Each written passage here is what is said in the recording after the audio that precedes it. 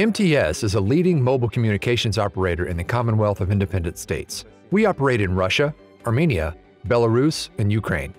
We currently have more than 100 million active subscribers and 220,000 kilometers of fiber optic cable lines that connect all of our data centers together. The NFV project is important as it enables us to quickly implement different services on a unified infrastructure.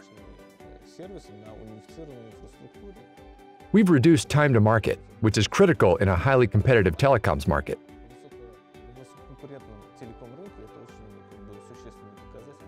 The mobile communications operator that is able to provide end-user subscriber services quickest across Russia will have the competitive edge.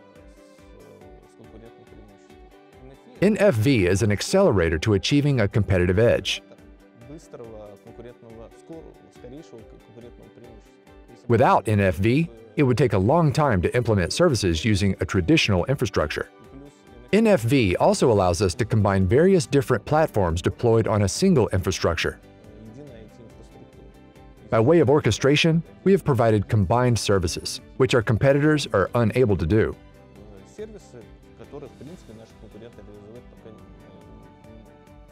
The high levels of readiness of the infrastructure facilitates the rapid deployment of services. They're prototyping, and where they are successful, rapid replication into the regions.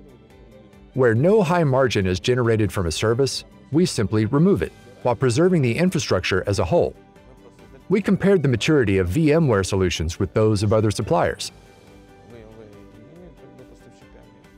We assessed the experience of implementing these solutions in the telecoms operator market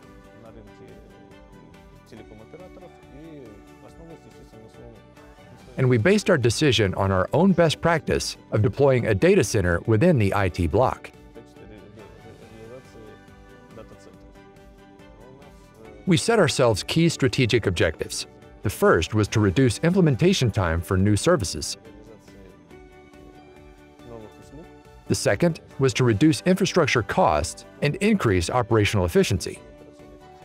The third was to achieve high levels of infrastructure readiness and prototyping as well as the implementation of new subscriber services. We managed to achieve them all with VMware vCloud NFV and VMware vCloud Director.